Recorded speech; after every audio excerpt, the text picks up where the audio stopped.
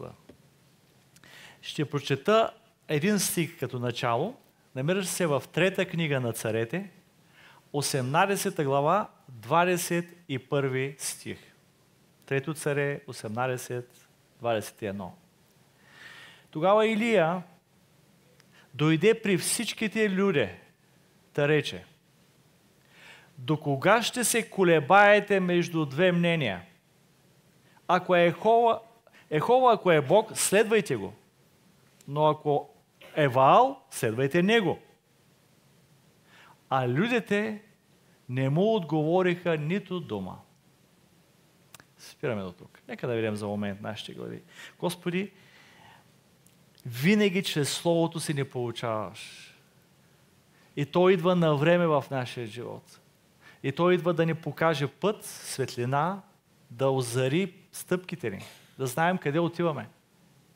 А по някой път Боже приемаме Словото и го складираме в сърцето си и точно в необходимия момент Той извършва това, което ти си говорил. Така да бъде Словото и тая вечер. Не от човешката сила изречено, не от човешката мъдрост изречено, но чрез мъдростта и силата на Духа Господен, а ние да го приемаме като чисто Божие Слово. И нека, Господи Боже, да го живеем, да го вършим пред Тебе и да бъдем верни на думите Ти. В името на Господ Исус Христос се молим. Амин.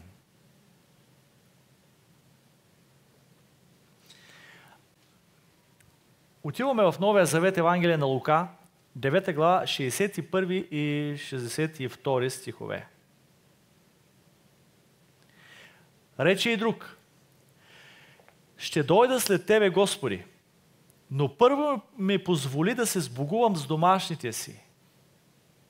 А Исус му каза, никой, който е турил ръката си на работа и гледа назад, не е годен за Божието царство. Ще кажем, много остро се отнесе Исус към този човек. Изглеждаше сякаш този човек дойде с добро намерение. И сигурно беше така. Намерението в него той ми смяташе, че е добро. И той каза, Господи, да, ще те следвам. Но, но първо искам да отида да направя нещо друго. Първо трябва да свърша нещо друго. И там идва нещото, за което ще говорим тази вечер. Някой път изглежда толкова малко, незначително, обаче води до голямо охладняване, до голямо отстъпление. Колебанието, разколебаването. Какво правеше този човек? Ще вървя след тебе, ама първо малко се върна назад. И Христос каза, не, не. Който гледа назад, или пък, е, знаете, който е сложил ръка на работа и гледа назад. Или трябва да го следваш с цяло сърце. Хайде да се върнем сега на първия текст, който прочетохме.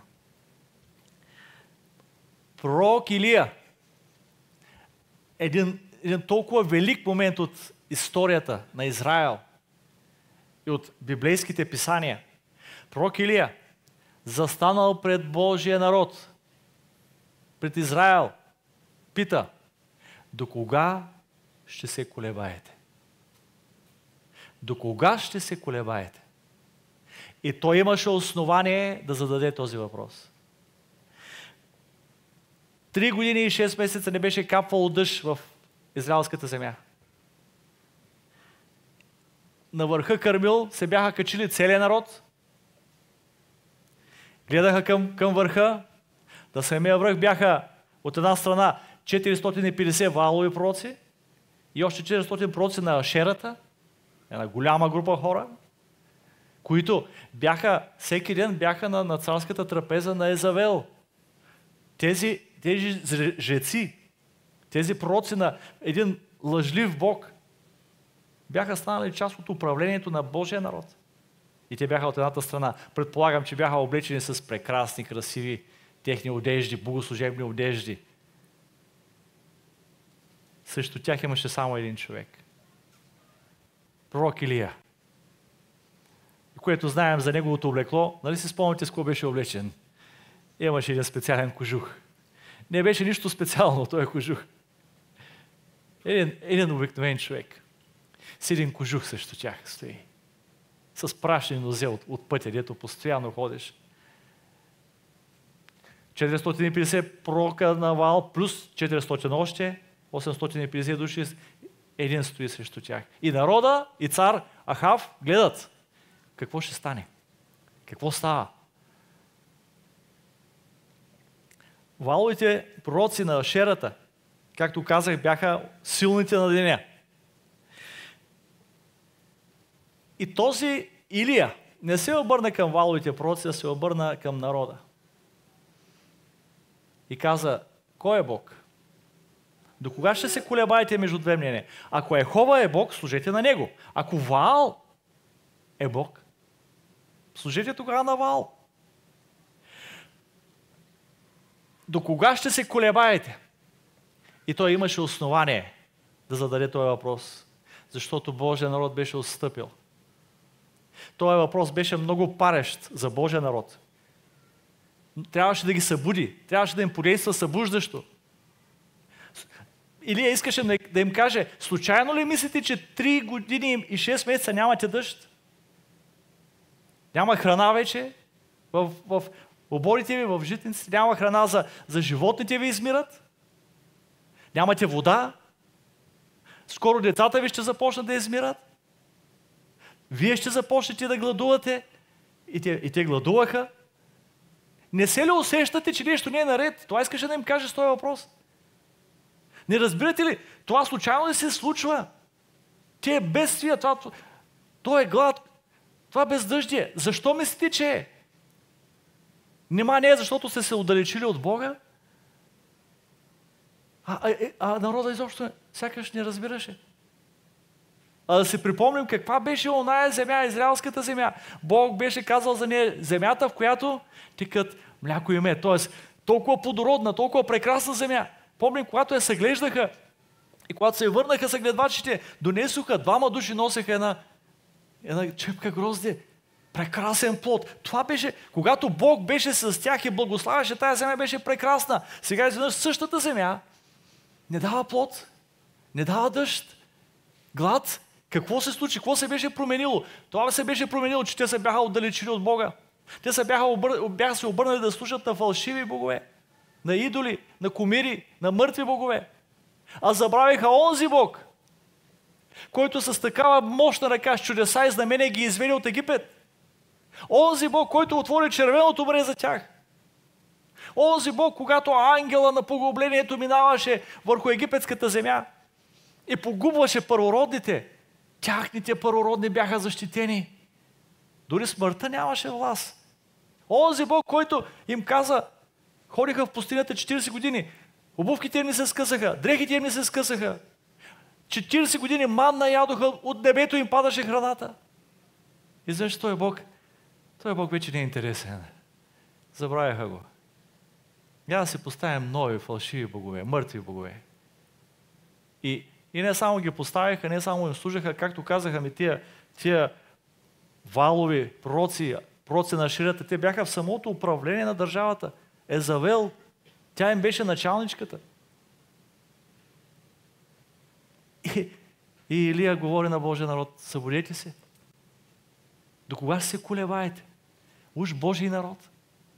А на кого служите? Намирам, намирам прилика, приятели, малко, много е трудно да го кажа, но намирам прилика и днес казваме България е християнска държава. Кое е християнското? Къде са молитвите? Къде са служенията? Тук там е, като има някой повод, ще поканят някой свещеник да се помоля да освети нещо. Не съм против това. Не съм против това. Поне това да го има. Ама, ама само това, това, ли, това ли не прави християни? къде е призива към народа. И, и от управниците да има призив към народа да се молим, да търсим Господа, да казваме България е християнска държава.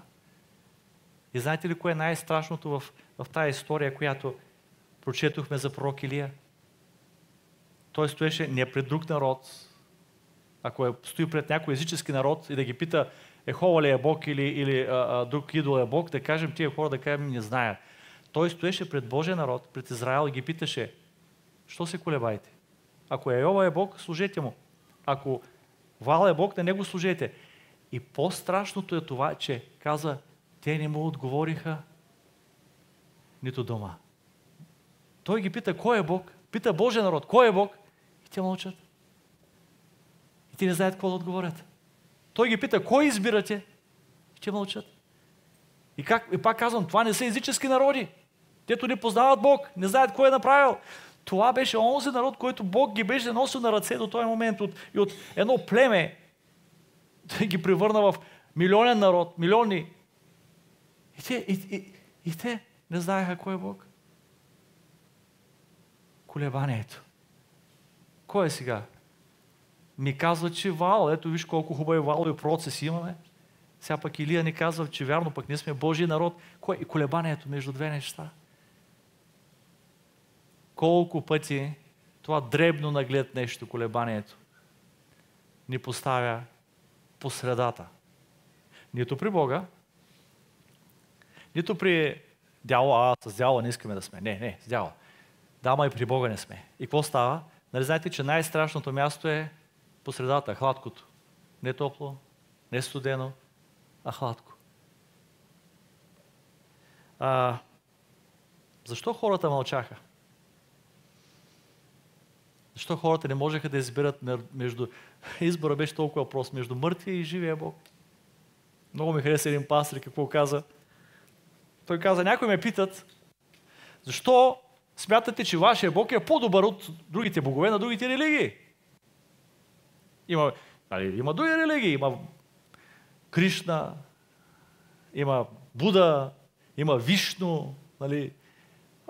Защо вашия Бог, с какво вашия Бог е по-добър? Защо да се молим на Него? Не е ли едно също? И пастир каза, ако си изгубил пътя, върви си и си изгубил пътя, си се загубил, не знаеш къде си. И в края на пътя, в, на пътя, от едната страна има един умрял човек, ковчег. И от другата страна има един жив човек. Кого питаш за пътя? Кого... Отиваш при умрелия и казваш, къде е пътя? Ще ме опътиш и къде е пътя? Не, не отиваш при умрелия. Отиваш да питаш живия. Защо препоръчваме нашия Бог пред другите? Защото е жив. Просто е. Защото няма друг жив Бог. Няма друг жив Спасител. Отиваш, питаш мъртвите богове. Къде ще опътят те? Несъществуващите идоли и комири. Какво ще ти помогнат? Какво ще ти кажат? Живия Бог е онзи, който ще ти покаже пътя. И това беше страшно. Божия народ стои и мълчи. Той... Или ги пита, Ехова ли е Бог? Или Вал? И те стоите мълчат. Приятели, разбирам да се колебаеш за някои други неща. Ако не е писано в Библията нещо, сега не е казано, примерно, къде трябва да учиш да учиш, когато отиваш да учиш, да се колебаеш. Това е училище или да избира онова ли. Но когато трябва да избираш между Бог и каквото и да е друго нещо, изборът е много прост. Винаги Бог. Между Божията воля и каквото и да е друго нещо. Изборът е прост. Избираш Господ. А, като някой сега да отида ли на църква или да не отида. Изборът е прост. Каква е Божията воля? Така. Нека да... Интересно ме беше да, да, да видя хората как определят това нещо колебание. Прочетох отрешника какво означава и как се определя колебание. Какво означава колебание? Колебливост, променчивост, непостоянство, несигурност, безпътица, нерешителност, несмелост, малодушие, неувереност, съмнение, раздвоение, плахост, боязливост, смут, двоумене, раздвоеност, отстъпление. Колебанието. А какво означава колеблив? Безволев, слабохарактерен, нерешителен, раздвоен, малодушен, несмел, страхлив, плах, боязлив, непостоянен, неустойчив, променчив, неопределен, непоследователен, със слаба воля, съмнителен, ненадежден, слаб. И много правилно Илия каза, що се колебаете?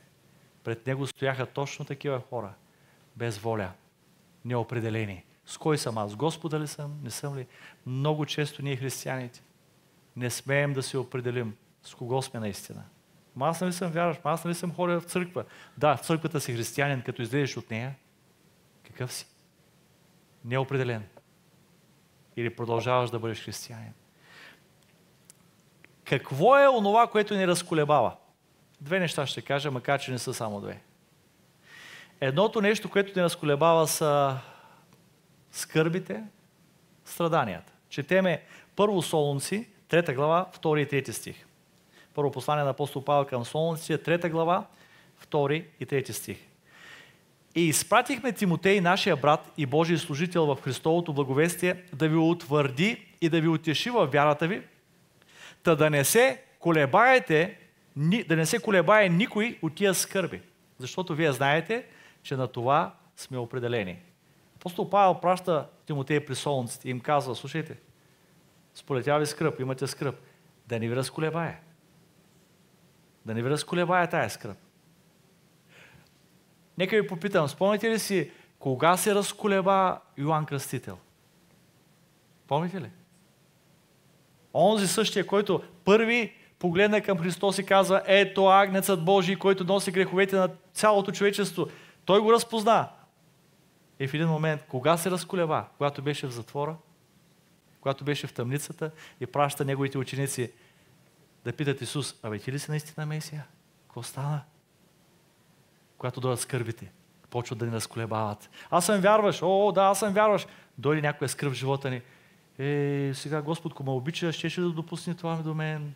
Ма щеше да се случи така с мен, ако ме... И почва колебанието. Апостол Павел изпраща Тимотей до Солнце да каже, слушайте, това да не ви разколебава. Ние сме определени на това. А, кога се разколеба самия пророк Илия? Ние знаем какво се случи, как той изколи всички тия пророци на Вала и на Шерата, ги изколи. Толкова смело огън падна от небето. Обаче Езавел, като му прати съобщение и му каза, както се направил от моите пророци, аз ще направя така с тебе. И какво стана с смелия Божий пророк? Избяга. Скри се в една пещера. Страданията, скърбите, често пъти не разколебават. Но апостол Павел изпраща именно това послание не само до солнците. Изпраща Тимотей не само до солнците да ни каже да не ви разколебава. Ние сме определени на това. Другото, което ни разколебава, колкото и, и, и как да кажа, да, да ви звучи противоречиво, едното е страданията, проблемите, скърбите, а другото е презадоволеността когато ти е широко около врата и всичко ти е наред. Откъде го казвам? Защо го казвам това? Откровение, трета глава, от 15 стих надолу. Откровение 3.15. Знае делата ти, че не си студен, нито топъл, дано да беше ти студен или топъл. Така, понеже си хладък, нито топъл, нито студен, ще ти е повърна от устата си. Понеже казваш, богат съм, забогатях и нямам нужда от нищо, а не знаеш, че си окаян, нещастен, сирома, сляп и гол. Тая църква, от какво се беше разколебала, че беше стигнала да е нали, неопределена, нито топла, нито студена. По средата, разколебана. От кое? Не от изпитания, не от страдания,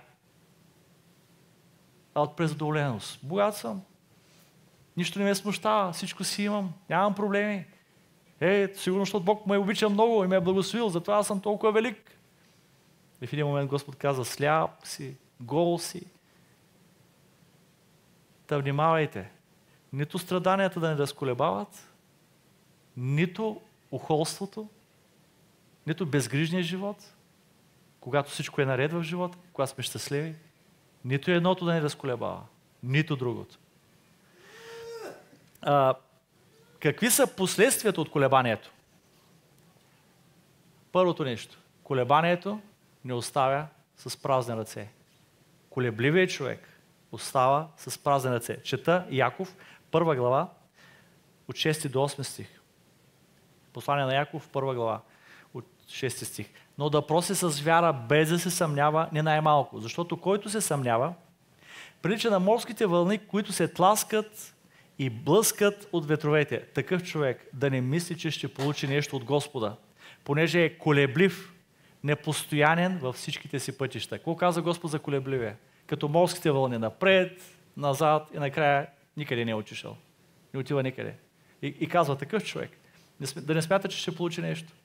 Защото колеблив, непостоянен. Точно определението за, за колеблив, което прочетохме. Когато си колеблив, не получаваш, наистина не получаваш. Затова и израелтяните 3 години и 6 месеца дъжд не получиха. Така, колебанието второ, на второ място води до духовно падение. Чета а, само, че не съм записал книгата, само съм записал 18 стих. Който ходи непорочно, ще се избави. А който ходи опако между два пътя, изведнъж ще падне. Мисля, че причина, не съм много сигурен. Който ходи опако между два пътя, изведнъж ще падне. Когато се колебаеш между вяра и неверие и ходиш между два пътя, падаш изведнъж. Колебанието води до духовно падение. Още на трето място.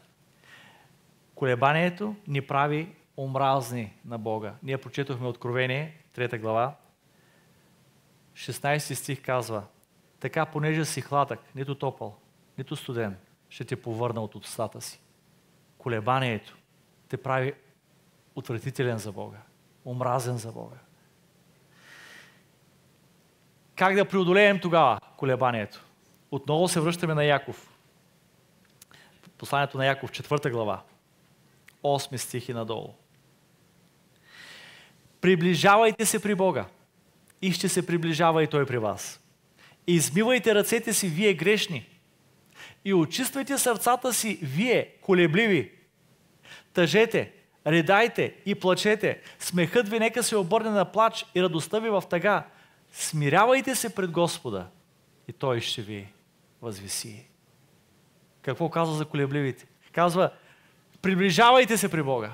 Колебая се. Сега как, как да спра да се колебая? А, да, и аз, и на мен ми се случва. Господи, как да спра? Приближавайте се при Бога. Измивайте ръцете си.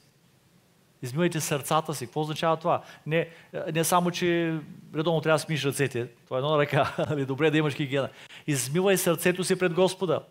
Очиствай мислите си, ума си, сърцето си от грехове, от помисли, от действия, от неща, които те омърсяват. Измивай се. Приближавай се при Бога. Измивайте сърцата си, вие колебливи, казва Словото. И ако ние се приближаваме при Бога, Той Бог ще се приближава при нас. А, и накрая ще кажа, Бог обича нея, които без колебание го следват. С неразделно сърце го следват. Пак казах, нормално е да се поколебаеш за някои неща от живота, къде ще работя, едната работа или другата. Може, може, там може да има колебание. Кое училище ще уча, кой град ще живее, може. Но когато стане въпроса, Бог, Господ Бог ли е? Исус Христос мой спасител ли е? Няма колебание. Когато стане въпроса, кого следвам? Ще върви ли след него? Няма колебание там. Квото и да става. Ма той се е случило, оно и се е случило. Било в живота ти си, всичко ти се е струпало и се е случило върху главата ти и си затиснат от проблеми.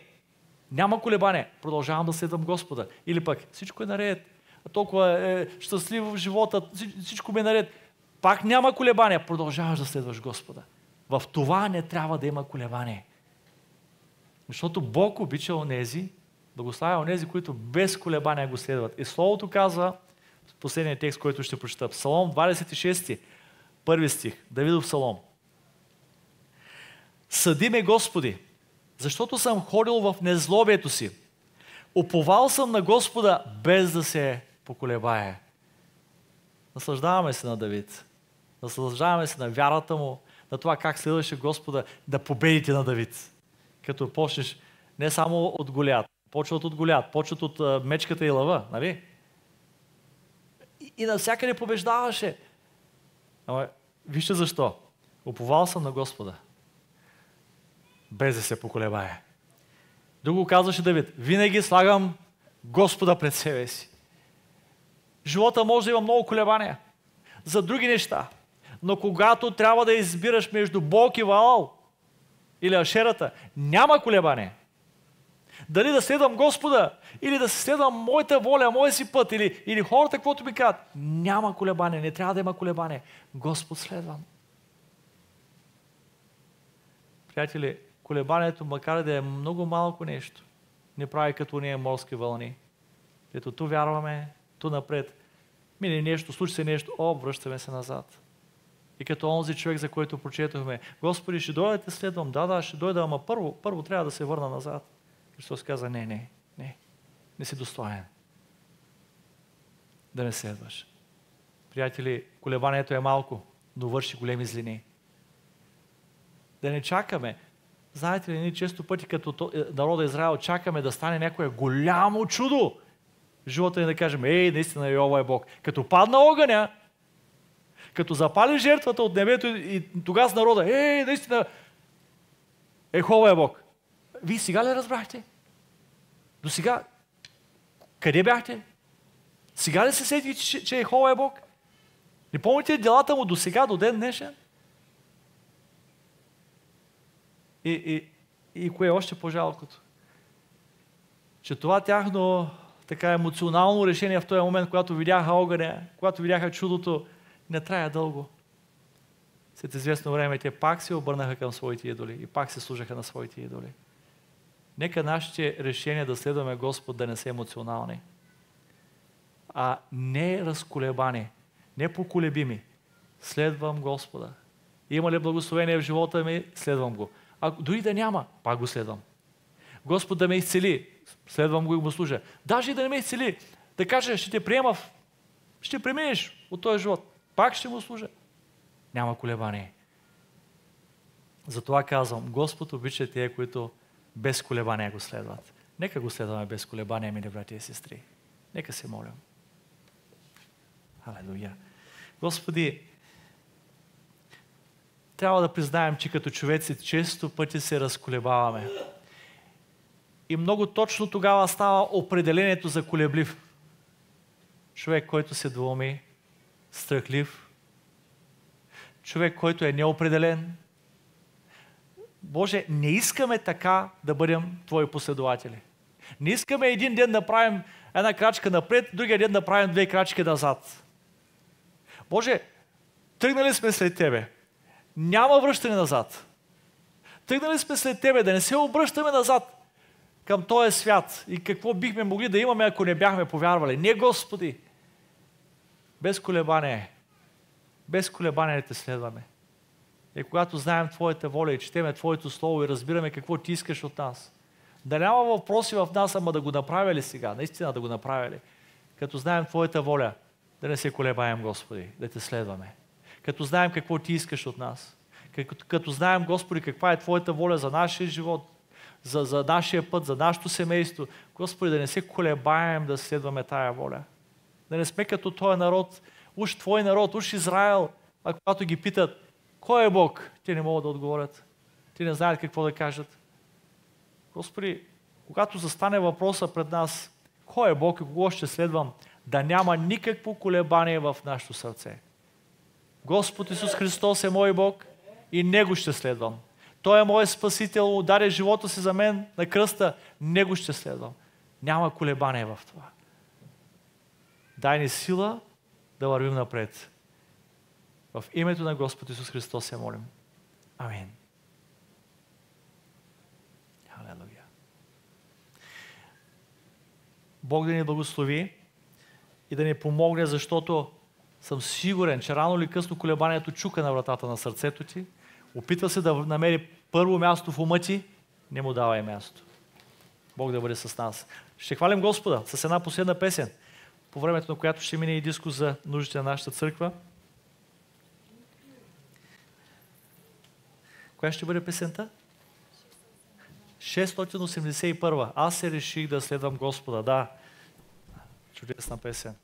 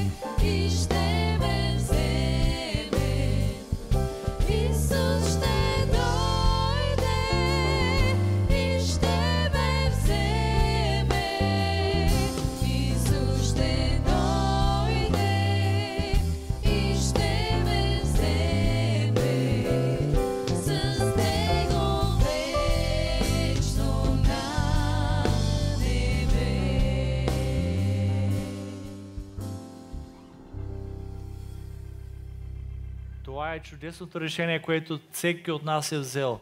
Нека не се връщаме никога назад. Същото въжи и за нашето служение. Когато служим пред Господа и винаги дявол идва и ти вика, бе, не си давай зор. Бе, седни там на стола в църквата, не е да правиш нищо.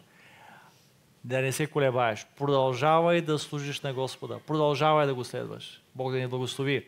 Нашите богослужения са сряда и петък от 18.30 часа Неделя сутринта имаме нашата служба от 10 часа сутринта и тая неделя ще ни гостува брат Ивайло Шетровски, ако е рекал Господ.